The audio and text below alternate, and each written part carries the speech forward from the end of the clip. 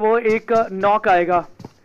Dot को काफ़ी ज़्यादा लो लेकिन टीएक्स के प्लेयर्स जो हैं, वो थोड़ा सा क्लोज इन कर चुके हैं। स्प्रे गॉड की बात करेंगे तो वो नेट करने का प्रयास करेंगे। हालाँकि आखिर में इन्होंने सोचा है कि वो को कैपिटलाइज नहीं करेंगे।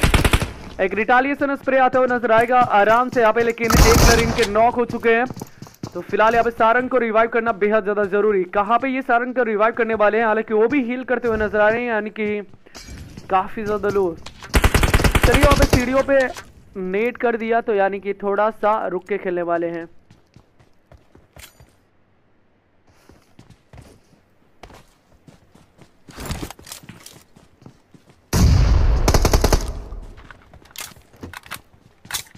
तो वो साथ से कवर अप आ सकता है और चलिए फाइनली वहाँ पे दूसरा प्लेयर भी एलिमिनेट करेंगे।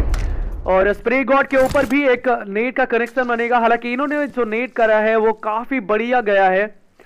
और मिस्टर स्प्रे को नॉक किया है। अब थोड़ा सा मामला जो है वो बराबर होने वाला है। तो क्या स्प्रे गॉड जो रहेंगे अपना, जो ज़ीरो एलिमिनेशन पॉइंट्स है, उसको थोड़ा सा और ज़्यादा एलिमिनेशन पॉइंट्स में बदलेंगे।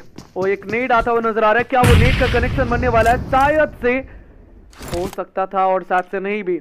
स्प्रे गॉड कोशिश लगातार करते हुए नज़र आ तो चलिए, बिल्कुल भी आसान नहीं रहेगा। वो आखिरी वाले प्लेयर और फाइनली उनको